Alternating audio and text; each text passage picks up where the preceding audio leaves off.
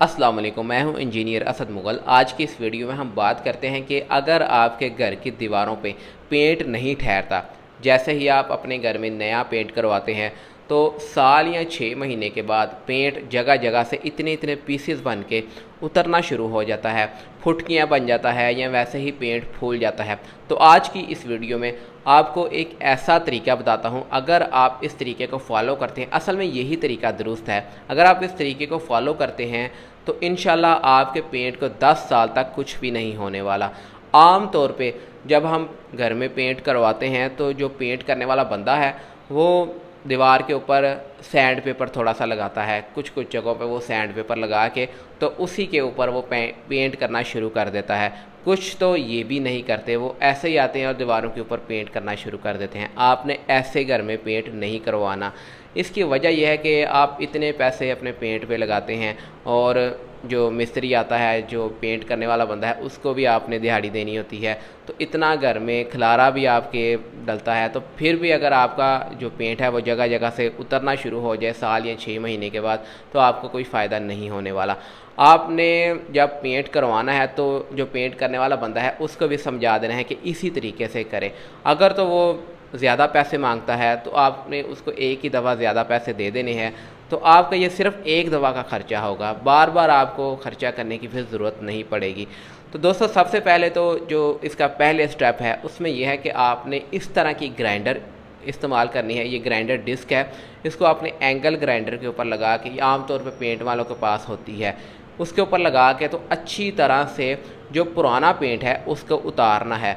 जैसे हम पुराने पेंट के ऊपर, जो पुराना तरीकाकार मैंने आपको पहले बताया है, पुराने पेंट के ऊपर नया पेंट कर देते हैं, होता ही है कि जो पुराना पेंट है वो एक्सपायर हो चुका होता है। उसके अंदर जो चिपकने की सलाहियत है वो ख़त्म हो चुकी होती है। तो जब हम पुराने पेंट के ऊपर ही नया पेंट कर देते हैं तो कुछ ही देर बाद या कुछ अरसे बाद जब पुराना पेंट उतरता है तो वो उसके जो ऊपर नए पेंट की लेयर होती है, वो भी उतरना शुरू हो जाती है।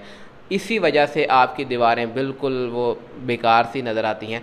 तो आपने कोशिश करनी है कि जो आपके घर में पुराना पेंट पहले से लगा है, उसको अच्छे तरीके से इस तरह ये ग्राइंडर इस्तेमाल करके पुराने पेंट को बिल्कुल साफ़ कर देना है, उतार देना है।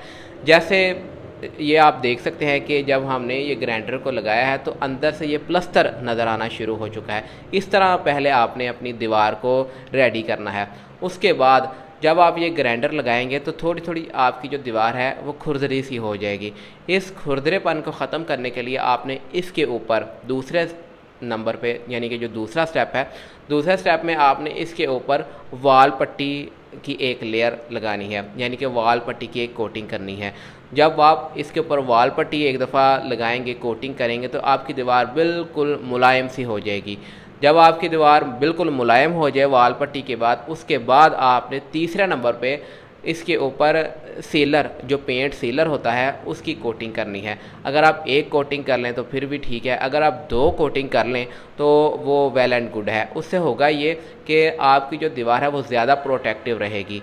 जो दीवार के अंदर से जो पानी थोड़ा सा निकलता है, वो जो सीलर की लेयर आपने बिछाई होगी कोटिंग की होगी, वो उसको प्रोटेक्ट करेगी, यानी कि पेंट तक नहीं आने देगी जो जो सीलर की लेयर होगी। अगर आप दो कोटिंग कर लें तो बहुत अच्छा रहेगा।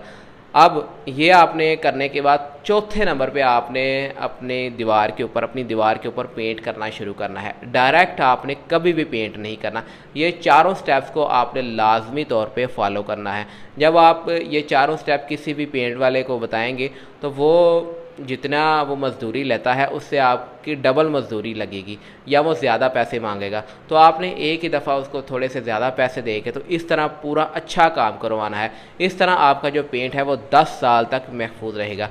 दोस्तों, इसमें एक और चीज़ भी आती है कि अगर आप ऐसी दीवारों पर पेंट करवा रही हैं, जहाँ पर कोई पानी का सोर्स मौजूद है, सलाबियत है सीपेज है सीलन है तो ऐसी दीवारों पर आपका ये भी टोटका काम नहीं आएगा।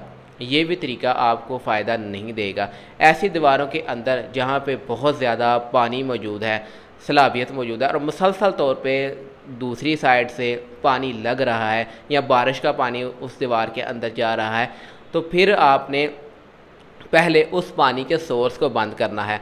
आपने वो सोर्स डिटेक्ट करना है कि पानी कहाँ से लग रहा है। जब खुद बिल्कुल खुश्क दीवार हो जाए तो फिर आपने ऐसी दीवारों के ऊपर पेंट करना शुरू करना है। तीसरे नंबर पे ये जो सीलर की कोटिंग का मैंने आपको बताया है, ये सिर्फ़ थोड़े से पानी को रोक के रखेगी। अगर तो आपकी दीवार के अंदर बहुत ज़्यादा सलाबियत है या नीचे बुनियादों से सलाबियत आ रही है, कोई पानी का पाइप फटा हुआ है, बारिश का पानी आता है तो इस तरह के पानी को ये कोटिंग नहीं रोक सकती। ये बिल्कुल थोड़े से पानी को रोक के रखती है। दोस्तों, अगर आपका कोई और मसला है तो मुझे कमेंट करके ज़रूर पूछें। मैं इन बर वक्त रिप्लाई करने की कोशिश करूँगा और उस मसले के ऊपर रिसर्च करके वीडियो भी बना दूँगा। मेरी वीडियोस पसंद आएँ तो काइंडली इसको लाइक ज़रूर किया करें। मिलेंगे इन एक नई वीडियो के साथ। तब तक के लिए मुझे इजाज़त दें। अल्लाह हाफिज़।